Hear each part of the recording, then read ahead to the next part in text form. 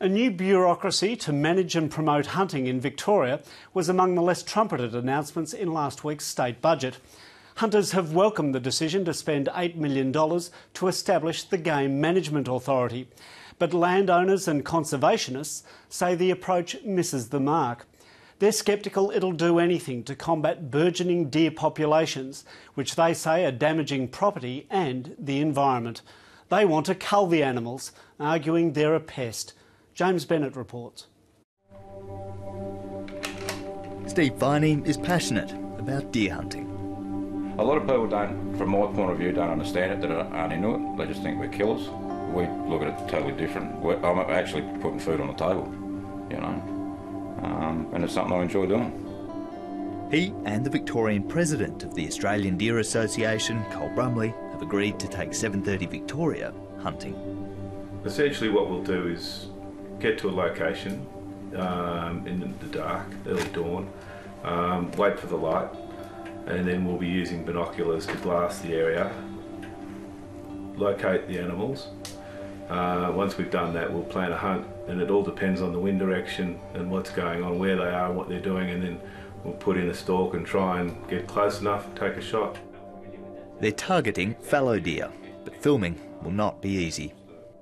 When you say put in a stalk, that's essentially try and get close enough? Yeah, yeah. Using whatever cover you've got, you might have to crawl, you might have to bend down, uh, lower your profile a bit. Stealth is critical. We want to get into that tree line just over there. That'll give us a good view of the whole paddock when the daylight comes.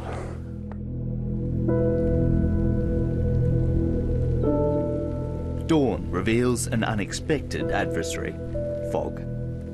Its cover and our silence allow some close encounters, but the morning calm is punctuated abruptly by an urgent whisper. The white buck straight out there. The fog has lifted only slightly, but with binoculars, the hunters can see a target. Steve creeps into position. Only for the fog to return. An hour later, cold and stiff, Col Brumley reluctantly acknowledges the game is up. With these animals, you probably get one 50% of the time, perhaps a bit better. Um, but when it's fog like that, there's nothing you can do.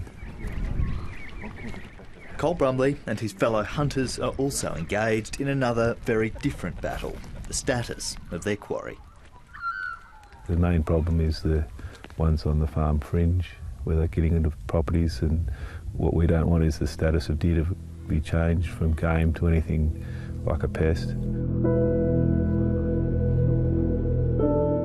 If deer were declared a pest species, not game, hunting grounds would be restricted and currently banned methods allowed.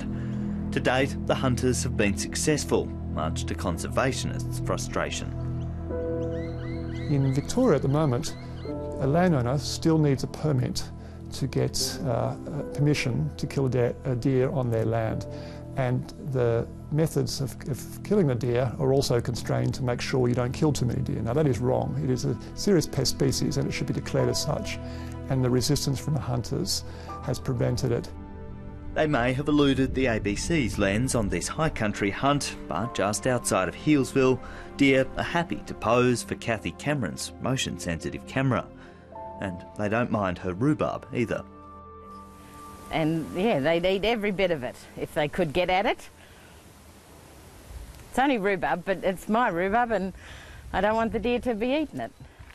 They've also consumed Kathy Cameron's fruit, even some flowers, and she wants them classed as pests. Yes, of course, they're feral.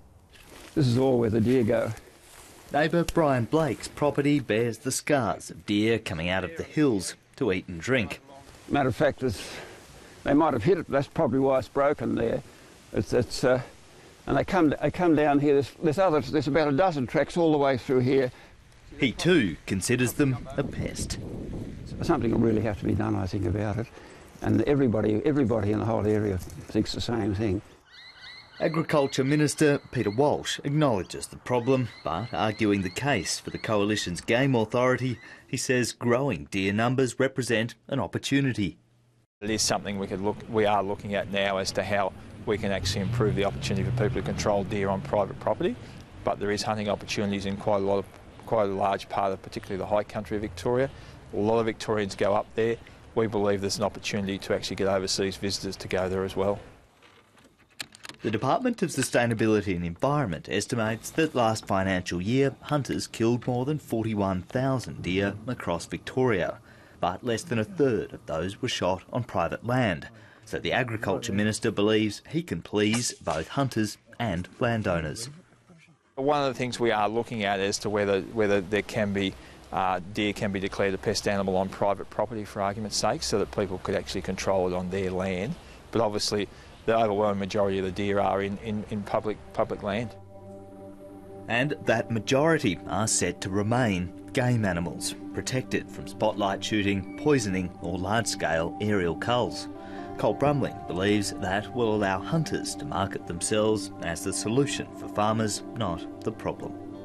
If we have that relationship, then they will come to us if they've got problems, or other hunting organisations for that matter, and just um, deal with it rather than going to um, you know, other avenues.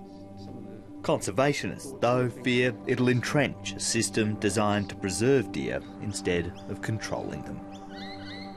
Already we, we believe game management in Victoria is still very hunter-centric.